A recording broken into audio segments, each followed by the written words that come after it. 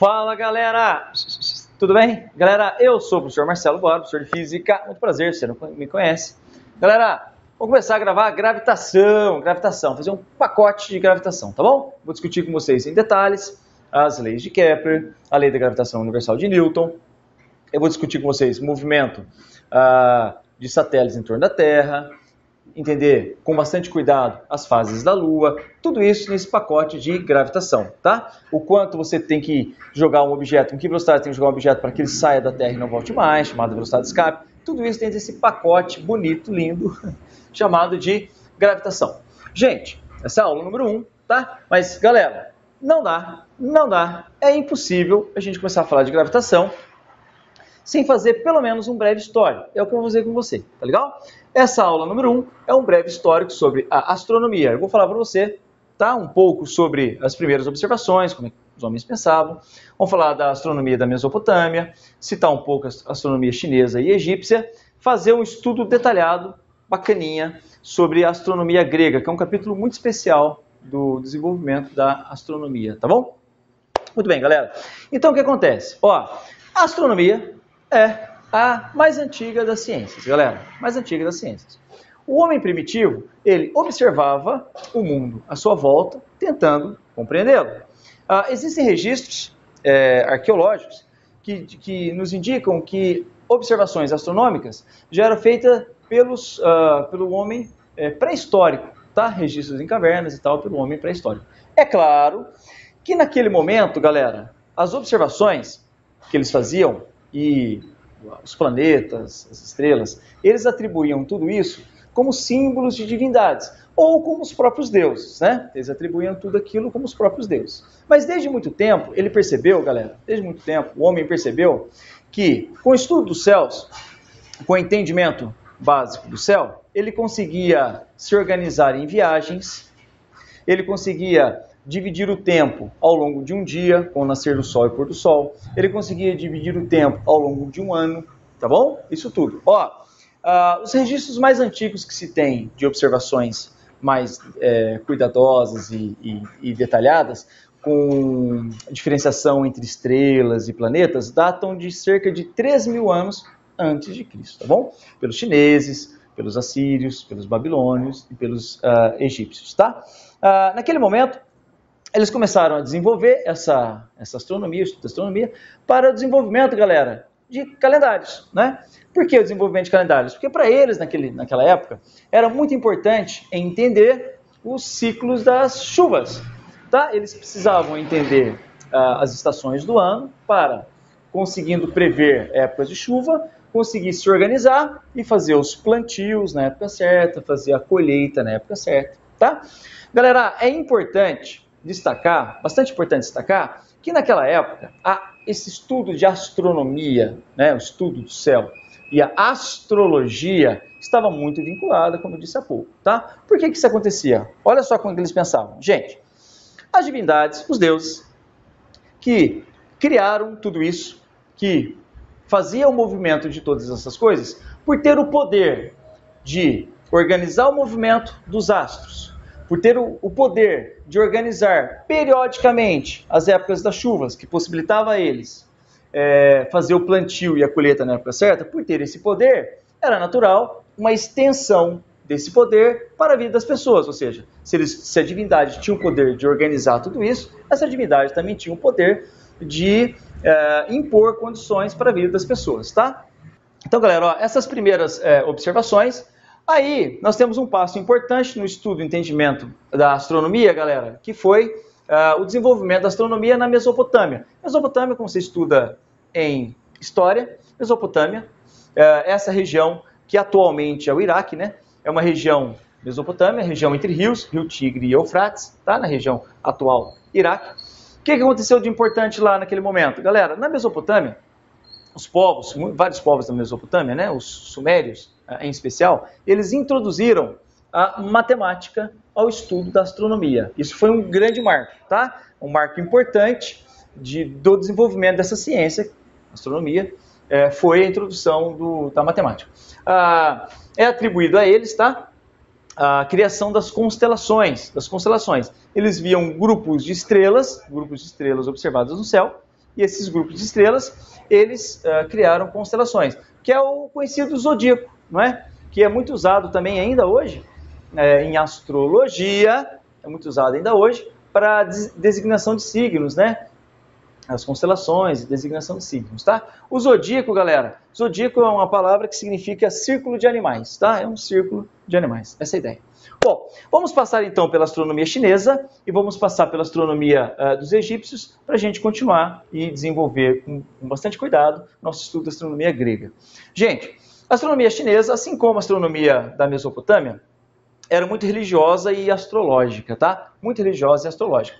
É, lá na China, nessa, nesse período, eles já dividiam o ano em 365 dias e eles já conseguiam prever com, uh, com bastante cuidado, eles faziam já é, a previsão de eclipse, tá? Ah, tem um ponto aqui que tem que ser destacado, um ponto triste da história que tem que ser destacado, que é o seguinte, muito, galera, muito da informação dos estudos dos gregos, dos chineses antigos, perdão, dos chineses antigos, foi perdida. Por quê? Porque no ano de 213 a.C., por ordem do imperador, olha só, no ano 213 a.C., por ordem do imperador, todos os livros do império eram para ser queimados, tá?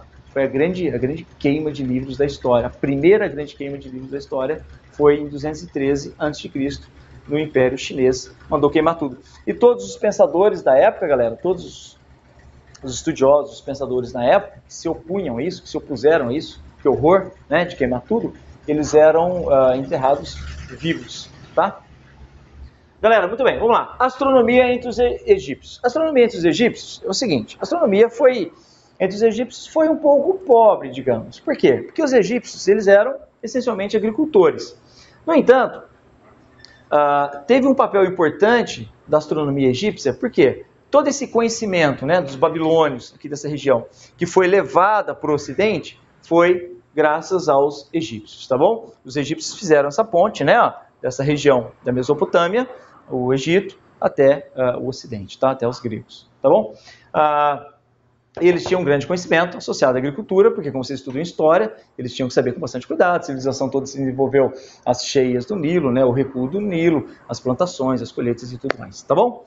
Muito bem, galera. Aí nós entramos na astronomia grega. Gente, astronomia grega. Ó, o apogeu, o ápice das ciências da antiguidade ocorreu na Grécia entre os anos, mais ou menos, entre os anos 600 a.C. e 400 depois de Cristo vocês terem uma ideia, eles chegaram a níveis tão avançados de estudo e desenvolvimento da ciência, ciência de maneira geral, não, não apenas astronomia, que uh, esses níveis, galera, só foram superados é, no final do século XV, começo do século XVI, galera. Olha isso, né? Atravessou toda a Idade Média esse entendimento, influenciou fortemente muita coisa na Idade Média, tá bom? Uh, muito bem. Então eles já tinham conceitos, galera, eles desenvolveram na época, nessa época eles desenvolveram conceitos da uh, de uma esfera de cristal, em que os astros ficavam incrustados nessa esfera de cristal e a Terra era uh, o centro dessa, dessa esfera, tá? Foi nessa época que tudo surgiu. Mas estou só citando porque agora eu vou falar para você em detalhes da astronomia grega, eu vou citar os vários pensadores, a contribuição que esses pensadores deram para nós, vou discutir com vocês, até o modelo de Cláudius Ptolomeu, que é do século II depois de Cristo, tá bom? Depois tem todo o período da Idade Média, aí eu vou comentar com vocês sobre o período é, do os trabalhos de Nicolau Copérnico, tá? Galileu, Nicolau Copérnico, é, Galileu, Nicolau Copérnico e uh, Johannes Kepler, tá? E aí é um marco que a gente termina a aula de hoje, por quê? Quando eu falar de Kepler, eu vou começar a discutir as leis de Kepler, aí vai ser aula 2, as leis de Kepler e assim por diante, tá bom? Então, ó, vou apagar a luz, ó. Então, eu vou fazer alguns apontamentos aqui para você dos astrônomos da Grécia Antiga, tá? Eu vou fazer em detalhes, desde Tales de Mileto, tá? Até Cláudius Ptolomeu no século II depois de Cristo. Então, vamos lá. Tales. O que, que Tales fez, galera? É, o Tales é, viveu aproximadamente 624 a 546 a.C. Existem algumas dúvidas com relação a essas datas, como vocês sabem, né? antigo, histórico. É, ele introduziu na Grécia, galera, a astronomia que veio dos babilônios através dos egípcios, entendeu? Então, introduziu na Grécia os fundamentos da astronomia trazida do Egito, tá? Ah, que serviu de ponte do conhecimento desde os uh, dos babilônios. Muito bem.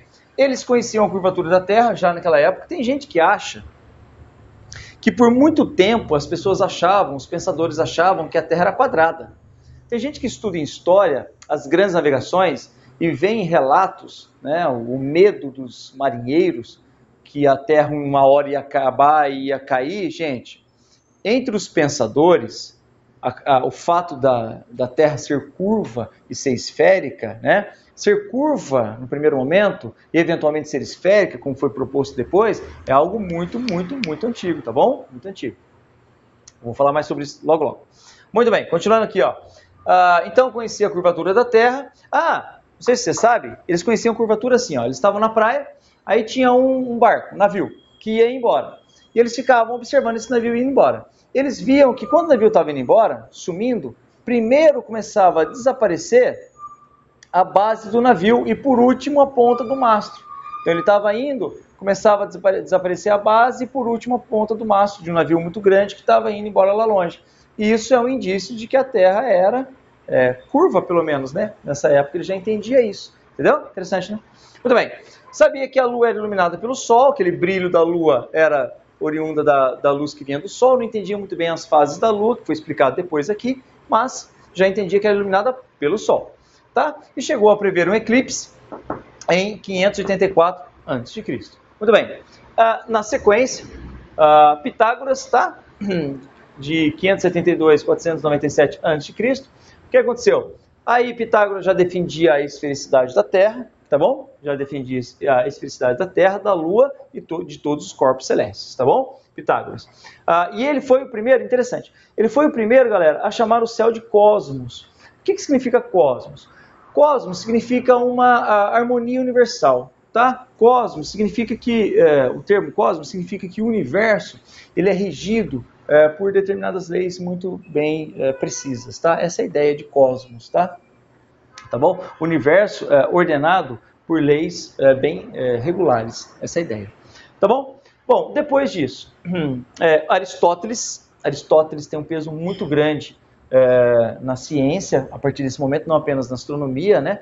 Ele foi, foi desenvolvida uma nova física nesse momento da história aqui. Aristóteles teve um papel muito importante. Tá? Aristóteles foi é, discípulo de, de Platão, tá? do filósofo grego, né? Platão. Uh, Aristóteles de Tagira, de 384 a 322 a.C. Então ele defendeu né, uh, com mais vigor a, a esfericidade dos astros.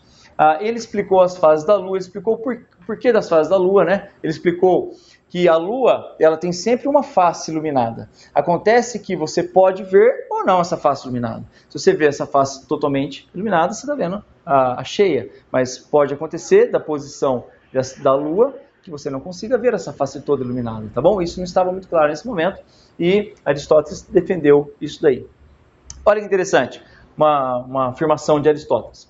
O universo é infinito e esférico, ou não terá centro e não pode se mover. Lembra da história que eu falei agora há pouco para você da, da esfera é, celeste de cristal que surgiu nessa época? Então, para eles, tá, o elemento mais pesado, para Aristóteles, o elemento mais pesado, a Terra, tinha que ocupar o centro dessa esfera, tá? que tinha de ser finita, esférica finita, para que ele pudesse, essa esfera, girar em torno da Terra que estava ali no centro. Entendeu a ideia?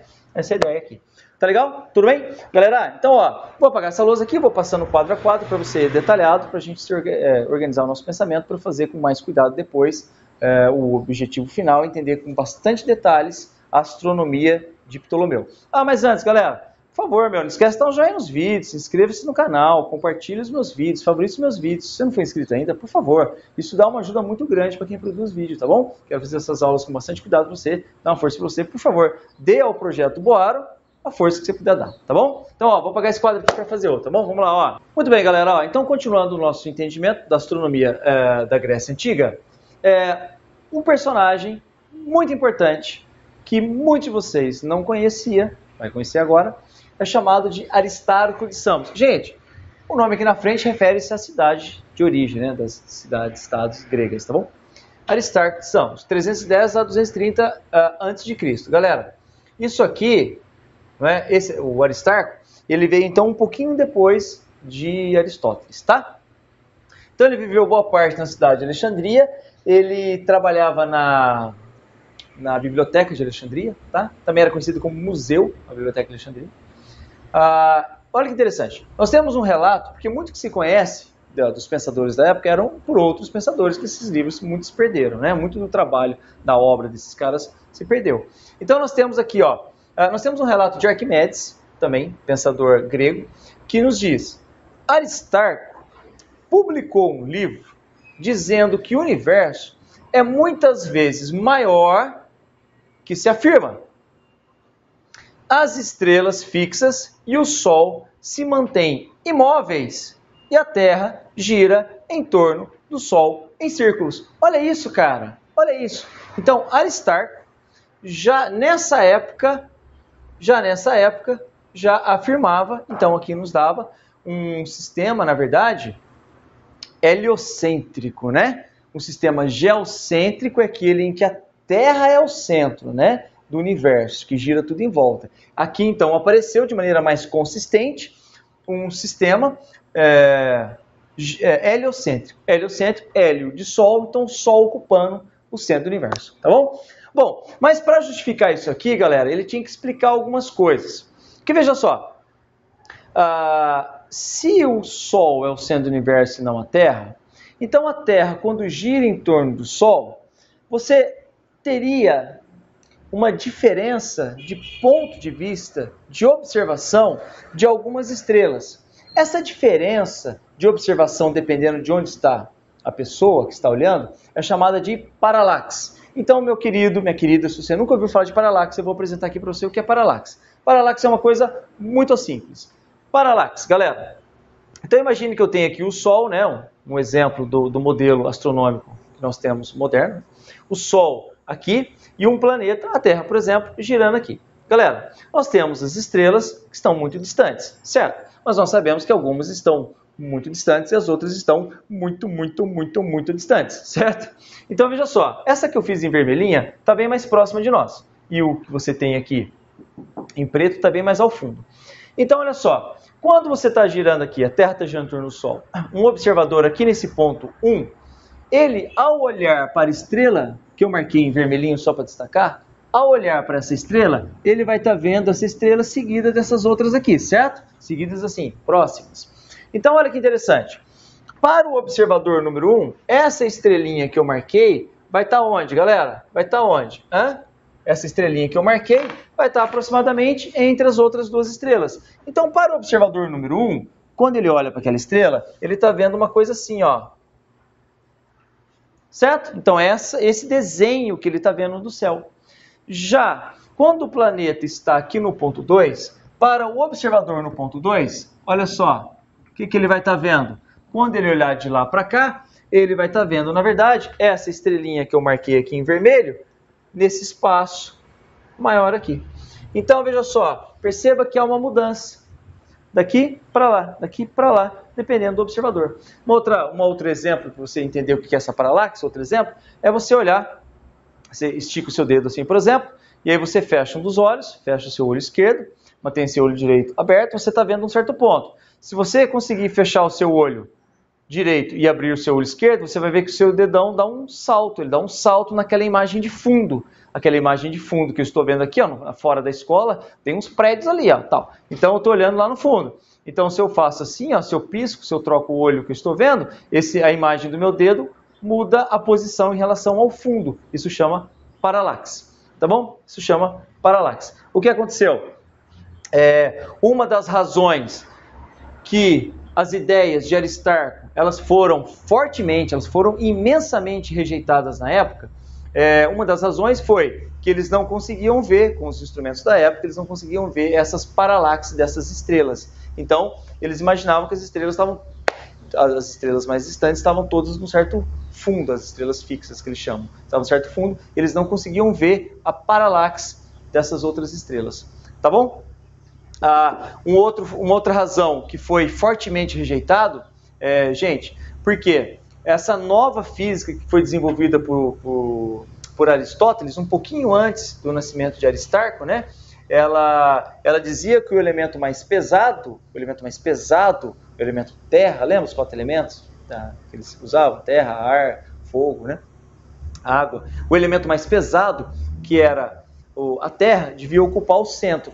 Então, esse argumento era muito seguido na época. Aristóteles teve um peso muito grande no pensamento, no desenvolvimento da ciência a partir daquele momento, tá bom? Ah, e por fim, galera, tem mais um outro argumento também que rejeitaram essa ideia dele, que era o argumento religioso, né, gente? Isso já desde aquela época, tá? O argumento religioso de que o ser humano, o entendimento religioso de que o ser humano devia ter como morada o centro do universo, não é?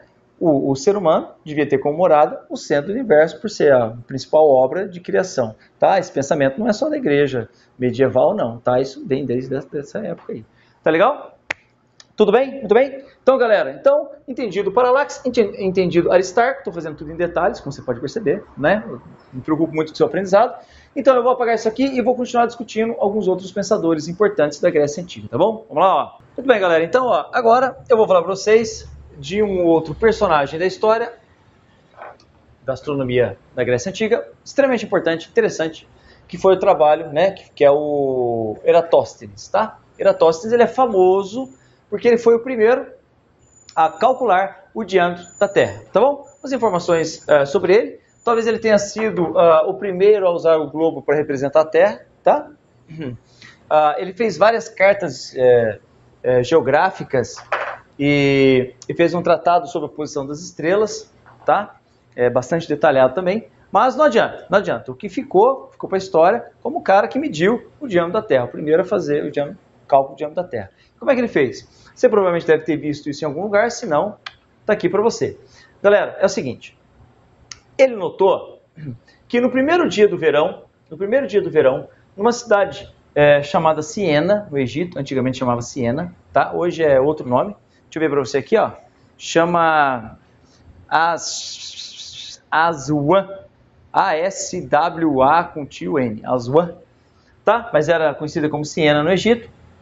No primeiro dia do verão, o sol iluminava o fundo do poço, certinho.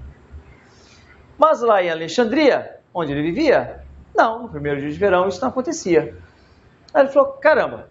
E aí ele falou assim, ah, então vou fazer as medidas. Ele já sabia, tá? Eles sabiam que a distância entre a Alexandria e Siena era de 5 mil estádios. Estádio, esse estádio era uma medida antiga grega, tá?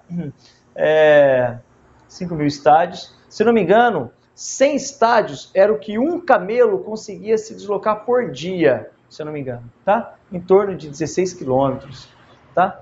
Então, 5 mil estádios era a diferença de distância, tá? Era, era a distância, perdão, era a diferença, né? Entre Siena, vou representar pela letra C aqui, ó, Siena, e aqui em cima, Alexandria.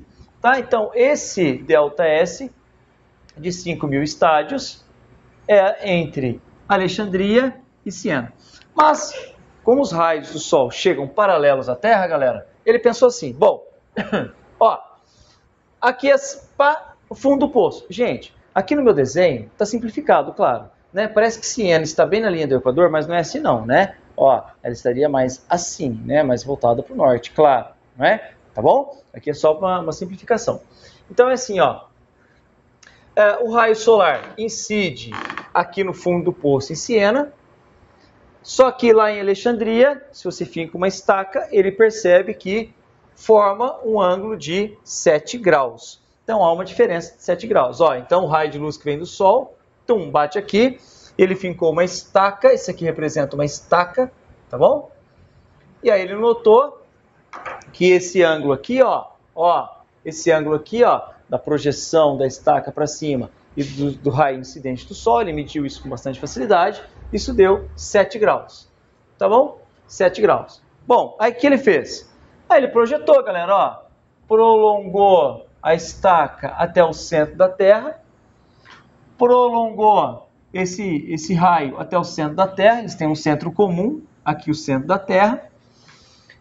Esse ângulo aqui, galera, ele está aqui, não é? Esse ângulo aqui, ó, ele está aqui. Então ele pensou assim: bom, se isso é 7 graus, ele sabe que a volta completa é 360 graus, já é usado há muito tempo naquela época, e ele sabe que aquilo é 7 graus, ele sabe então que 7 graus é aproximadamente 1 sobre 50 de 360, né, gente? 360 por 50 é praticamente 36 por 5, que é praticamente 7. 7 vezes 5 é 35, é um pouquinho maior, não é?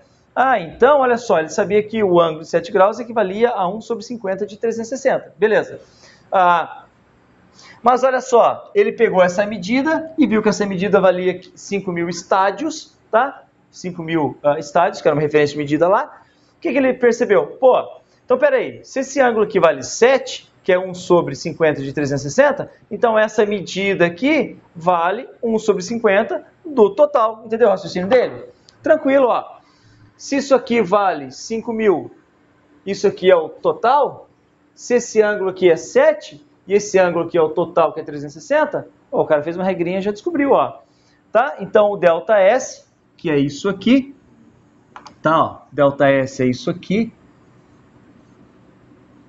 de Siena a Alexandria, tá, ó, eu vou tirar esse C aqui, de, de cidade, e vou colocar S, de Siena, só para não misturar com o C da, do centro da Terra, tá bom? Beleza. Então, ó, então, delta S, esse delta S aqui, que vale 5 mil estádios, 1 sobre 50 do total. E aí ele fez o cálculo e com isso ele viu, claro, que vai ser 50 vezes esse valor, né, gente? 50 vezes esse valor. E aí, como é que você acha o diâmetro da Terra numa situação como essa? Como é que você acha o diâmetro da Terra? Galera, isso aqui já era domínio deles de muito tempo, tá? toda circunferência, se você pegar o comprimento da circunferência e dividir pelo seu diâmetro, dá o π, não é? Se ele pega o comprimento total da circunferência dividido pelo diâmetro, dá o π. Total circunferência, o diâmetro dá o π. Fez esse cálculo, deu 40 mil quilômetros, tá? 40 mil quilômetros o diâmetro, que é um valor é, muito, muito, muito bom, tá? Segundo uh, os especialistas disso aqui, dizem que ele teve um erro é, de em torno de 1%, tá? Um erro pequeno, muito pequeno, de em torno de 1%. Tá bom? Entendeu? Então, isso aqui, galera, essa obra, né, o trabalho de Eratóstenes, uh, entrou para a história, né? O nome dele entrou para a história por causa desse trabalho aqui, tá legal? Então, vamos continuar? Falta só um pouquinho. Eu preciso falar de um cara, é, é, Hiparco, antes de falar do é, Ptolomeu, tá? Algumas ideias, eu falo do Ptolomeu, eu falo do do, do trabalho de Ptolomeu, Ptolomeu, tá bom? Vamos lá, ó. Então, ó, Hiparco de Niceia e o Cláudio Ptolomeu. Gente, Hiparco de Niceia, ele tem, é, provavelmente você nunca ouviu falar, ou a maioria de vocês nunca ouviu falar, mas ele teve uma importância histórica bacana, porque ele fez medidas com muita precisão. Ele fez muitas medidas com muita precisão, tá bom? Ah, e o Cláudio Ptolomeu, ele pegou muito dessas informações para poder trabalhar, tá bom? Muito mesmo. Então, ó, Hiparco de Niceia, de 1900, é, perdão, de 190 a 125 antes de Cristo, tá? O, o Cláudio Ptolomeu já é depois de Cristo, tá legal? Ah, ele fez ele fez um mapa, galera, com mais de é, 850 estrelas detalhadas. Ele fez uma classificação de 1 a 6 das estrelas, tá? Mais, mais brilhante, menos brilhante, tudo detalhado. Um mapa do céu extremamente detalhado ele deduziu a precessão da Terra, coisa que muitos de vocês nem, sabem que, nem sabia que existia. O que é precessão, galera? Sabe um peão? Você joga um peão? Qual aquele de, de brinquedo de criança? Você joga um peão? Ele vai ficar girando assim, certo? Só que num dado momento ele está girando, mas ele está fazendo isso aqui, não está? Ó, girar e fazer isso aqui, ó, isso aqui chama precessão. Você tem uma ideia? O planeta Terra tem um movimento de translação e de rotação, como você sabe, mas ele tem é, outro movimento um outro movimento que ele tem é chamado de precessão. Então a Terra, eu vou exagerar aqui, ó, a Terra ela fica girando em torno do próprio eixo, girando em torno do Sol, mas ela faz esse movimento aqui, ó, enquanto ela está girando em torno do próprio eixo. Galera, para vocês terem uma ideia da qualidade do trabalho desse cara aqui, ele conseguiu calcular essa precessão da Terra e a... acontece que a precessão da Terra leva 26 mil anos para completar um ciclo. Olha que louco! 26 mil anos ela leva para fazer esse movimento completo. E esse cara, nessa época, com as observações detalhadas, claro que não só dele, né, gente, observações anteriores também, ele conseguiu fazer o cálculo e chegar à precisão da Terra com bastante, com bastante precisão, tá? E ele também calculou a distância da Lua à Terra, como valendo 59 raios da Terra, é, que também é uma aproximação muito boa, é, varia um pouco, né? A distância da Lua à Terra varia um pouco, ao longo do ano, mas ele já chegou a 59 reais da Terra, um, valor Muito bom. E ele calculou a duração de um ano, um ano, tá? Com um erro de apenas seis minutos, galera. Olha isso, nessa época, tá? É, é considerado o grande é, astrônomo é, de antes de Cristo, tá? Hiparco de Niceia. Muito bem. Então, com tudo isso de informação, olha isso, galera. Olha tudo isso que eu falei para vocês, com tudo isso de informação, chega a, a Cláudio Ptolomeu, de é, 85 a 165 a.C. É, essas datas aqui variam, eu já vi numa outra fonte de 87 a 150. Bom, enfim, tá bom? É, depois de Cristo, perdão, perdão, aqui não é antes não, galera, é depois de Cristo. Tá? Ptolomeu já é depois de Cristo. Século II depois de Cristo. Muito bem. A obra dele chama Almagesto, tá? Almagesto. Almagesto significa o maior dos livros, o grande livro, tá? Era uma obra em 13 volumes, imagina, uma obra em 13 volumes, com tudo muito, muito rico em detalhes, tá? Tudo muito, muito, muito detalhado. Então, é um sistema geocêntrico, sistema geocêntrico, explicava o movimento, para poder explicar o movimento dos planetas, eh, do Sol, da Lua, tudo em torno uh, da Terra, tá? É um sistema geocêntrico. Nosso próximo passo é estudar o sistema é, heliocêntrico de Nicolau Copérnico, tá bom? Muito bem. Então, deixa eu explicar um pouquinho para você. Galera, acontece o seguinte, eles tinham alguns problemas para explicar, ou não, vários problemas que eles tinham com a história de colocar a Terra no centro do universo e tudo girando em volta. Um dos problemas sérios que eles tinham para explicar eram chamadas as laçadas dos planetas. Como assim laçadas? Bora. Imagina que eu estou aqui na Terra e eu estou analisando um planeta. Júpiter, por exemplo. Júpiter está indo, galera. Estou olhando, ó. Tá? Mês a mês, dia a dia, mês a mês, Júpiter está indo.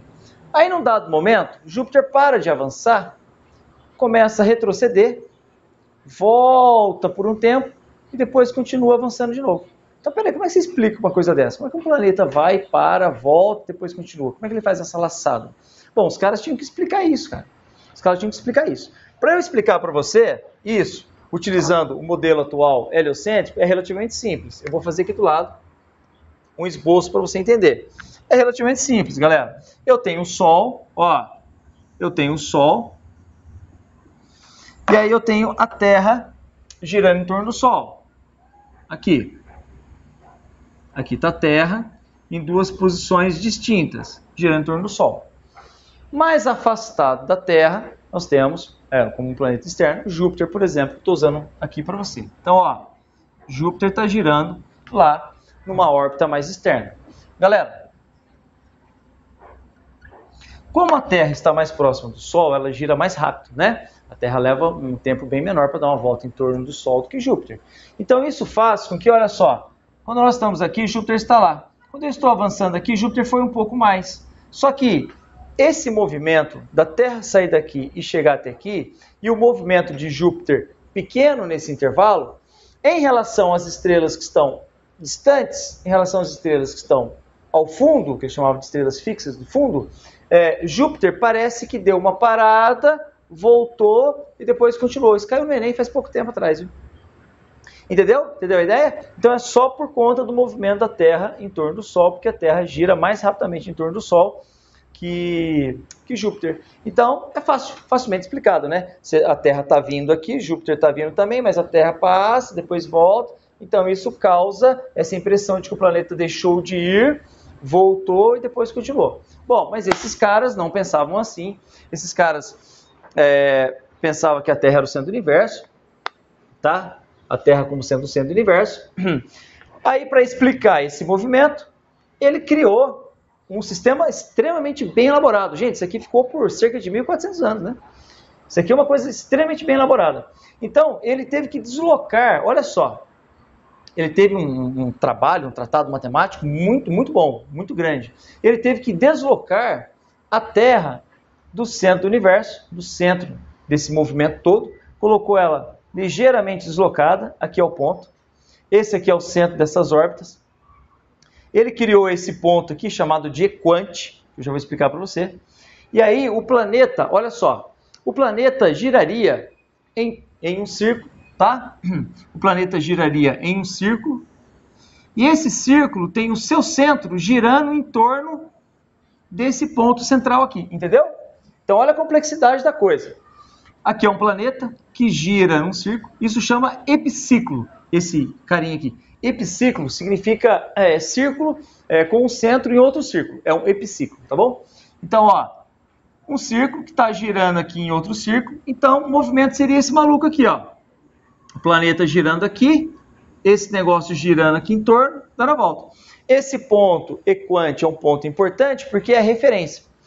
Para ele, segundo os cálculos, o centro do epiciclo vai girar tomando como referência o equante, de maneira que a velocidade angular, ou seja, como ele gira, fica constante. Então é um ponto especial criado para poder justificar, para poder explicar esse movimento complexo, essa coisa complexa toda de você colocar a Terra no centro do universo, o negócio ficou bastante complexo. Essa é a ideia, galera.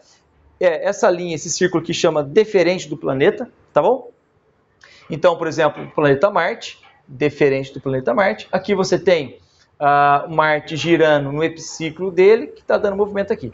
Aí, galera, o, a velocidade com que ele gira, a velocidade com que esse, o, o, centro do epiciclo dele gira aqui no deferente do planeta, isso tudo era regulado, controlado, calculado, para que desse certinho os cálculos. Aí, ó, dependendo da necessidade, ele fazia o negócio girar mais rápido um pouco, ou girar mais devagar um pouco, ele fazia isso maior um pouco, ou ele fazia isso menor um pouco, nos cálculos, tá? Apresentava, apresentou o seu, seu teorema lá, apresentou toda a sua explicação para poder descrever o movimento, tá bom?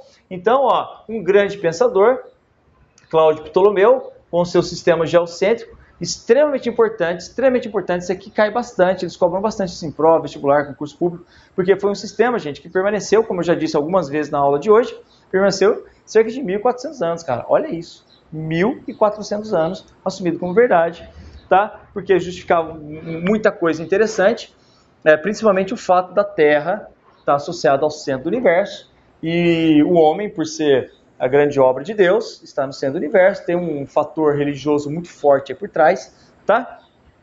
É, por trás da permanência desse modelo por tanto tempo ao longo da Idade Média, como você estuda em história, tá? É, é importante destacar que Ptolomeu ele usou o modelo de Platão das formas perfeitas. Como assim, Boaro? É, para os caras, desde a época de Platão, tudo que havia no céu era perfeito, era forma perfeita. Ou seja, se uma coisa é esférica, é perfeitamente esférica. Se alguma coisa gira em torno do outro, gira em círculos, né, em circunferências perfeitas, entendeu? E aí era, era uma junção que Ptolomeu fez, foi pegar formas perfeitas e fez uma junção dessas formas perfeitas para descrever o movimento dos planetas, do Sol, da Lua, de tudo em torno da Terra. Entendeu, meu querido, minha querida?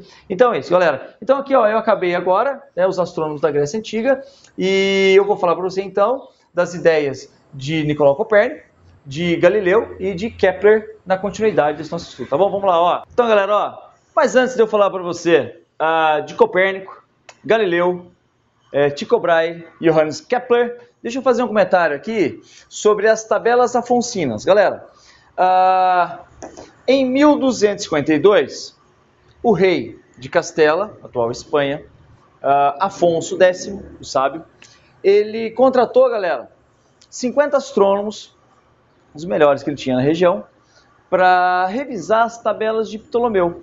Essas informações, elas ficaram conhecidas, essas tabelas ficaram conhecidas como tabelas afoncinas, tá? E essas tabelas, ó, 1252, hein? Elas ficaram por muito tempo e foram usadas depois desse período, ah, foram muito usadas, muito usadas. Foram muito usadas por Copérnico, foram muito usadas por Galileu, foram muito usadas por Tycho Brahe, foram muito usadas, usadas por Johannes Kepler, tá bom? Então esse aqui é um marco importante eh, nesse momento da Idade Média, 1252, tá bom? Legal, galera. Então chegamos, enfim, ao Nicolau Copérnico. 1473 a 1543, ok? Bom, finalzinho da Idade Média, início da Idade Moderna, né? Nesse intervalo aí. Galera, então o que, que uh, Copérnico uh, fez de extremamente importante para as ciências, fez extremamente importante para a astronomia? Ele propôs, galera, ele apresentou o sistema heliocêntrico. Galera, e esse trabalho dele apresentação do sistema heliocêntrico, é, é considerada uma das, das, hipóteses científicas mais importantes de todos os tempos, galera. Foi um marco um, muito importante, muito importante mesmo, tá? O sistema heliocêntrico hélio uh, significa Sol, como já falei para você, e cêntrico no centro. Ou seja, ele propôs um modelo astronômico em que o Sol ocupava o centro do universo, tá? Não é exatamente o centro, como já vou falar para você, mas na região central do universo, o centro das esferas celestes, tá? Então esse modelo ele foi publicado, galera, é, no ano de sua morte, por uma série de, de, questões, né, que ele sabia, ele era religioso, cônego, tá? Ele era um, um religioso, é, por uma série de problemas com a igreja da época, ele segurou isso, ele foi religioso, então ele não se casou, não teve filhos e tal, e ele tinha uns familiares próximos a ele, alguns sobrinhos que viviam próximos a ele, e ele deixou tudo preparado. No ano da morte dele, ele publicou, tá? Foi isso aqui. Ah, muito bem. Então, o que acontece, galera? Mas ah, ah, ah, as ideias de Copérnico são interessantes que você tem que pensar o seguinte. Copérnico, ele ainda se manteve preso às ideias da perfeição das formas e do movimento. Como assim?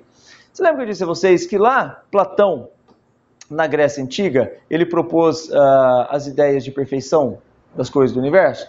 Como uh, é a obra da criação, então tudo que há no espaço, tudo que há no universo, que se movimenta, se movimenta em formas perfeitas, a forma perfeita é o círculo, na concepção deles, uh, e tinha formas, né, os formatos deles eram perfeitos, que eram as esferas. Então tudo era esfera, e tudo se movia em círculos, tá? Então Copérnico tirou a Terra do centro do universo, colocou o Sol no centro do universo, a, a, mas ele manteve a ideia das formas serem perfeitas, tá? Ah, então ele colocou no centro das esferas celestes, gente. Colocou o Sol no centro das esferas celestes. Não era exatamente no centro do universo, mas no centro dessas esferas que tinha aqui. Gente, uh, tem gente que acha que quando Copérnico fez isso, ele simplificou muito matematicamente a questão. Não é bem assim, não é bem assim. Ele simplificou algumas coisas, claro. Ele conseguia explicar com muito mais facilidade a questão das laçadas, é, dos, a laçada dos, dos planetas na, na, observação, né? Aquele lance do planeta voltar, tal. Ele explicava isso com muito mais facilidade, claro. Mas por manter, por manter essa questão das formas, dos objetos e do, do movimento, as formas perfeitas do movimento, isso aqui tem uma complexidade matemática extremamente alta, galera. Uma complexidade matemática extremamente alta, tá bom? Ele teve que inserir, ele teve que inserir epiciclos do, do, do movimento de, algum, de alguns planetas e tal, entendeu? Então, assim, é um negócio extremamente é, complexo, tá? Eu vou ler para você aqui um resuminho, ó, das teorias de Copérnico, que pode ser resumido da seguinte forma. Vou ler aqui para você, ó. Os movimentos dos astros são uniformes, eternos, circulares ou em composição de vários círculos, que é o epiciclo, galera, lá de Ptolomeu, tá? Ele manteve aqui. Ah, o, o centro do universo é perto do Sol e próximo do Sol também. É, você tem os planetas, né? Mercúrio, Vênus, Terra, Lua, Marte, Júpiter, Saturno. E aí, ao fundo, as estrelas fixas. Essa é a ideia dele, tá? Ah, que mais? A Terra tem três movimentos: movimento de rotação diária, movimento de, é, da volta anual, né? E a, a inclinação do seu eixo. E o movimento retrógrado dos planetas é explicado pelo movimento da Terra, como eu disse a você. E importante, a distância da Terra ao Sol é pequena, se comparada à distância das estrelas, tá bom? Ah, então é assim, galera.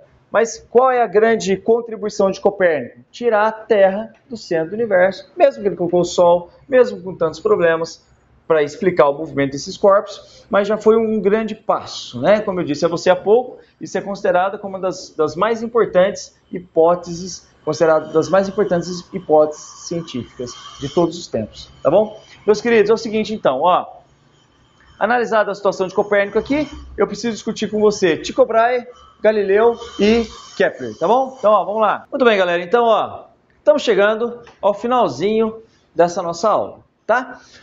Vou falar para você agora, na continuidade das personalidades que deram grandes contribuições para a astronomia, uh, Tycho Brahe, ou Tycho, Tycho Brahe, como dizem alguns, tá bom? Tycho Brahe, uh, de 1546 a 1601. Gente, esse cara aqui foi muito especial, realmente. Foi um marco porque ele foi o último grande astrônomo da era pré-telescópica, tá? Esse cara aqui fazia medidas com extrema precisão, gente, impressionante. Tá? Ele, pra vocês terem uma ideia, ele melhorou em até 10 vezes uh, as imprecisões que haviam da época de Ptolomeu, tá? Das medidas de Ptolomeu, depois das medidas das tabelas afoncinas, que ele encontrou vários erros nela, tamanhas os detalhes que ele conseguia fazer, ele conseguiu reduzir os erros em até 10 vezes na, na, nas medidas. Entendeu? Tudo isso sem telescópio até esse momento.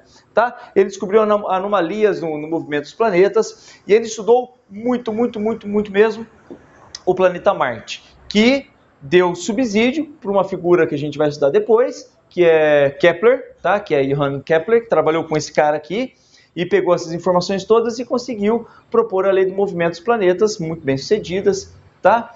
que está associada às órbitas, né? que a órbita ela não é circular, ela é elíptica, ela chamada primeira lei de Kepler, tá? Kepler só conseguiu chegar a essa conclusão com um trabalho matemático muito grande, que eu vou falar daqui a pouquinho para você, mas trabalho matemático muito grande, mas ele pegou os dados desse cara aqui, ele trabalhou com ele, tá bom?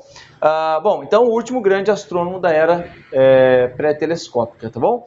Ele estudou muito Marte. Marte tem um período em torno do Sol um, um pouco maior que o da Terra. É, Marte leva aproximadamente 1,8 anos para dar uma volta em torno do Sol, né? 1,8 anos nosso, tá bom? Muito bem. Vamos aqui agora Galileu Galilei. Galera, Galileu Galilei. Ó, tem uma outra grafia de Galileu com O, que é a grafia de origem italiana, mas tanto faz. Galileu ou Galileu, tá bom? Galileu Galilei, de 1564 a 1642. Essa figura aqui foi muito, muito importante. Muito, muito importante. Por quê, galera? O que acontece? Olha aqui que eu destaquei para você. Ele melhorou o telescópio. Com o telescópio, com essa melhor telescópio, ele conseguiu observar, é, fazer observações muito melhores. Ele conseguiu perceber que a Lua tinha montanhas. Ele descobriu em 1610 é, os, os, planetas, os satélites, perdão, planeta não, as luas, né, em torno de, de Júpiter, tá? Ele fez os, os, primeiros registros detalhados das manchas solares, tá? inclusive tem vários desenhos, você procurar na net você vai ver, manchas é, solares Galileu, vai ter os desenhos que ele fazia, tá? Ah, e os primeiros indícios do, dos, dos anéis de Saturno foram feitos por ele. Galera, é, Galileu, em 1609, em 1609, ele ficou sabendo do telescópio da luneta, né? Luneta, como chamava, né? Luneta. É, ele ficou sabendo da luneta e aí ele mesmo fez a dele. Ele ficou sabendo que tinha, o pessoal usava muito para deslocamento, né? Em navios e tal. E aí ele foi atrás e conseguiu fazer. E ele melhorou muito. Nas primeiras dele tinha um aumento de 3%, 3%, mas ele conseguiu um aumento, se eu não me engano, de até 30 é, 3% não, três vezes, ele conseguiu as primeiras com aumento de três vezes, e as últimas ele chegava a ter um aumento de 30 vezes, se eu não me engano. Tá bom? Ah, Galileu Galilei, galera, ele é considerado o pai da ciência moderna porque ele deu contribuições muito, muito grandes, muito, muito grandes. Galileu não trabalhou só com astronomia, né? Ele trabalhava com movimento uniformemente variado, tá? Soltar objetos no plano inclinado para usar movimento uniformemente variado. Ele trabalhava com com pêndulos, ele trabalhava com balança hidrostática, ele trabalhou com muita, muita coisa, com termômetros, tá? É, ele é considerado como o pai da ciência moderna porque as ideias dele, o método científico dele, era o método científico dele, era o método empírico, ou seja, para você desenvolver a ciência, é importante que você faça as experiências, para você conseguir demonstrar, provar, testar essas ideias, essa teoria. Tá? Então, se você vai lançar um objeto, você quer estudar o movimento de um objeto, você vai falar, ah, ele vai de um jeito, vai de outro jeito, você tem que fazer os experimentos. Coisa que hoje para nós é óbvio, você fala, ué, claro, se eu, quero, se eu quero estudar o movimento de uma bala de canhão que é lançada, eu tenho que lançar a bala de canhão e analisar, e fazer os testes e tal, não é? Então, acontece, galera, que as ideias uh, de Aristóteles, que eu expliquei para você lá muito antes de Cristo, as ideias de Aristóteles, elas ficaram muito fortes, elas foram muito fortes, muito assumidas durante toda a Idade Média. E o método científico de Aristóteles era outro, era um método muito mais abstrato, era um, era um método mais de ideias, né? Não, vamos, vamos imaginar, vamos pensar como isso funciona e não fazer experimentos.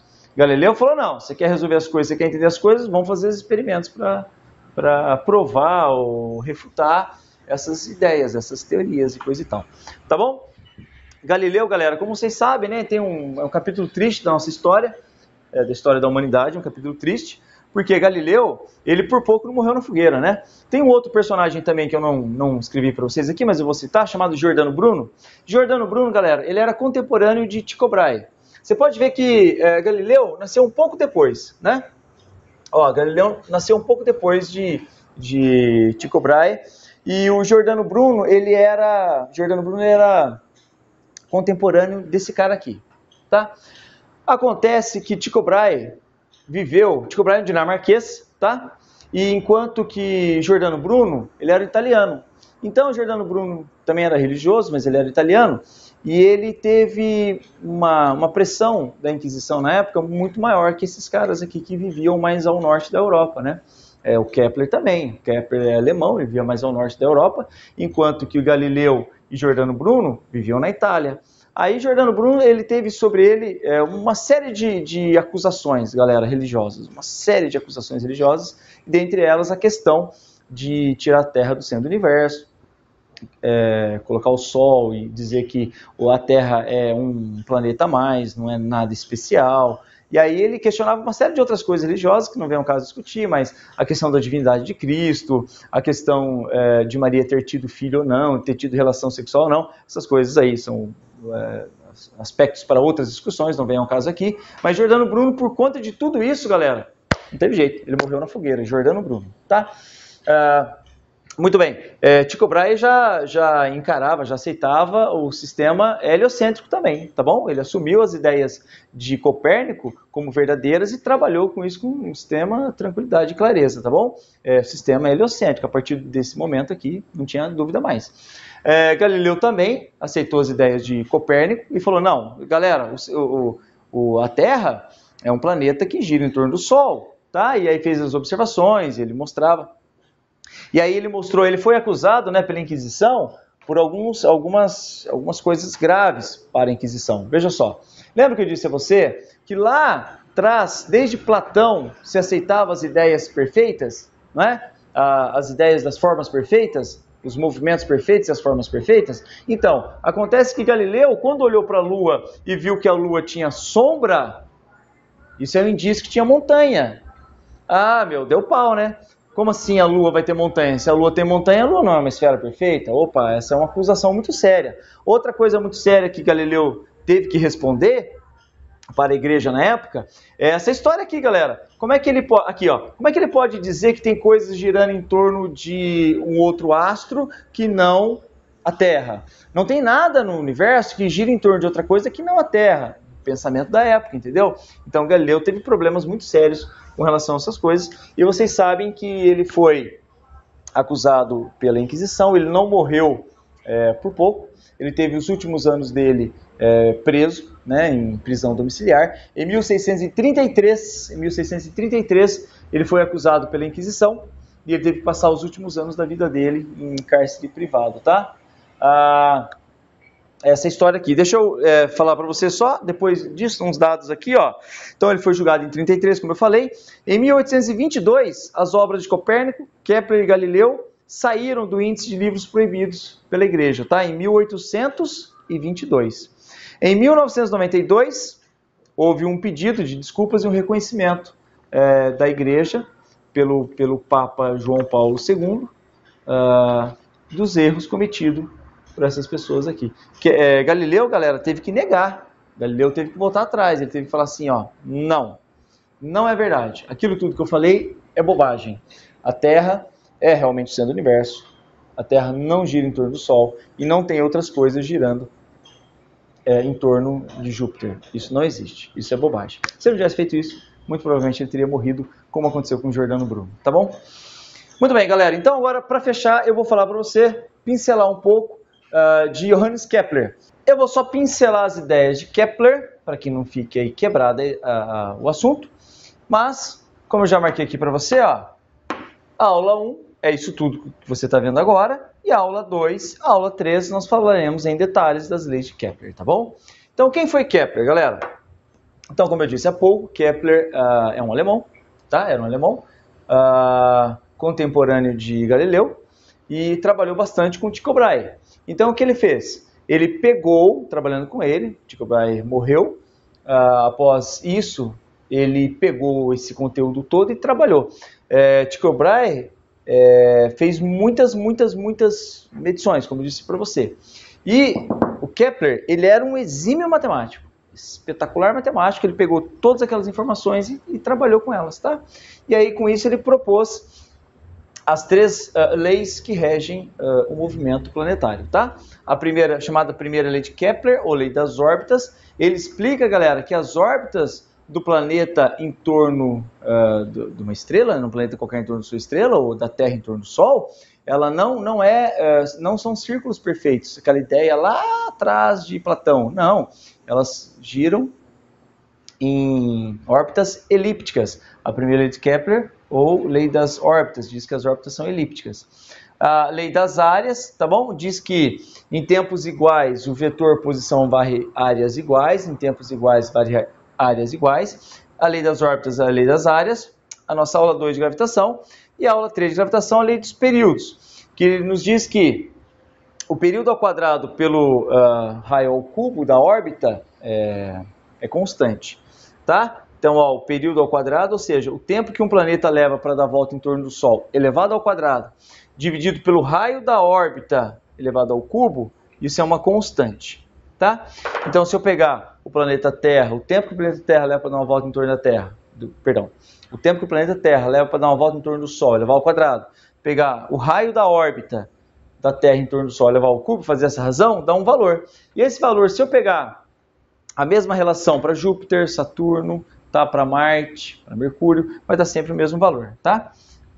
Tudo bem? Essa aqui é a aula 3, aula detalhada, isso aqui cai bastante nos vestibulares para vocês. Mas galera, não dá para começar a falar disso para você sem fazer todo esse histórico detalhado para você entender bacaninha, bacaninha, tá?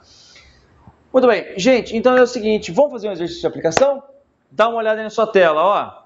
Galera, esse exercício que é o Nondesk, né, na Universidade de Santa Catarina, diz assim: analise as proposições abaixo sobre os, as principais características dos modelos de sistemas astronômicos. 1. Um, sistema dos gregos. A Terra, os planetas e o Sol e as estrelas estavam incrustados em esferas que giravam em torno da Lua. Ai, nunca ouvi falar isso na minha vida, galera. Não, né? Girar em torno da Lua? Você tá louco? Não, não, isso tá errado. 2. Ptolomeu supunha que a Terra encontrava-se no centro do universo. Opa! Ptolomeu, século 2 depois de Cristo, Terra no centro do universo? Ah, e os planetas moviam-se em círculos, cujos centros giravam em torno da Terra. É isso aí, né, galera? Os planetas giravam em círculos e o centro uh, girava em torno da Terra, tá? A, a história dos epiciclos que eu expliquei para você. Então, a 2 é verdadeira. 3. Copérnico defendia a ideia de que o Sol estava em repouso no centro do sistema e que os planetas, inclusive a Terra, giravam em torno dele em órbitas circulares. Copérnico manteve a ideia de Platão das órbitas circulares? Manteve. Então tá certo também. Um tá errado, dois tá certo, três tá certo, tá bom? O que, que me dá isso como resposta?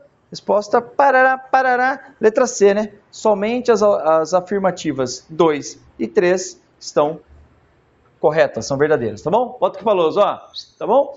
Então, falso, verdadeiro e verdadeiro, tá bom? Falso, verdadeiro e verdadeiro, resposta letra C.